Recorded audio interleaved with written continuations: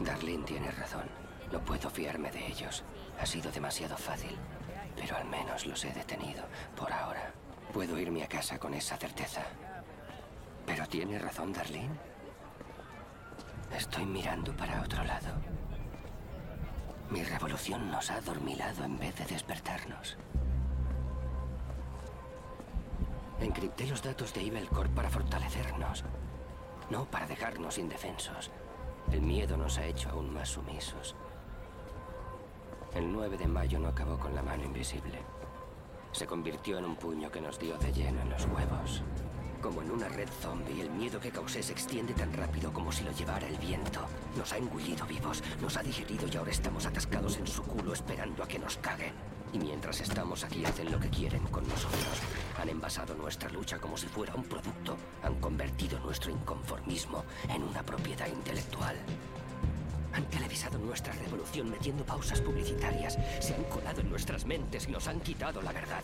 Han maquillado los hechos y han subido los precios. Eso es lo que hacen. Es lo que mejor se les da. Es su jugada maestra. Intentamos devolveros la verdad y ellos quitárosla. Ahora darán el siguiente paso. Sí, ¿sabéis cuál es? Nos lobotomizan en su espectáculo de realidad virtual. ¿Por qué? Para quitaros el poder. Y no, no me refiero a la electricidad. Todo esto empezó porque quería esconderme de la sociedad. ¿Recuerdas? ¿Sociedad de mierda? Pues sí, soy yo quien se la ha cargado. La he reiniciado de cero. Y si no hago nada al respecto, seguirá creciendo como un tumor maligno. Eso es lo que más miedo me da. El oscuro futuro que yo he puesto en marcha. ¿Qué podría salir de todo esto? Gracias. Muchas gracias, gracias. ¿Y si en lugar de resistirnos tenemos y renunciamos a nuestra privacidad a cambio de protección? ¿Y si cambiamos dignidad por seguridad? Revolución por represión. ¿Y si elegimos debilidad y no fortaleza? Esa no es la gente que hace grande nuestro país, sino la gente que lo está destruyendo. Nos harían construir nuestra propia cárcel.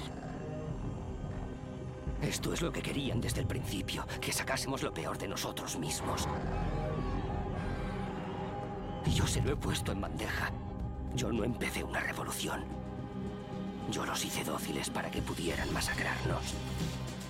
Podría quedarme aquí y culpar a Evil Corp y a los demás conglomerados por aprovecharse de nosotros, al FBI, a la NSA y a la CIA por dejarles salirse con la suya, a los líderes del mundo por ayudarlos a incitarlos y al puto Adam Smith por inventar el capitalismo moderno para empezar, culpar al dinero por dividirnos, a la gente por permitirlo.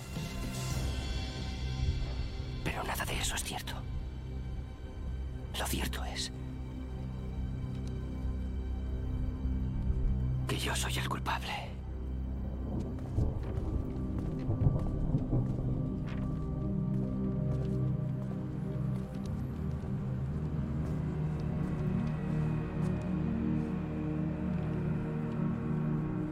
Yo soy el problema. Esto es culpa mía. Todo. He sido yo.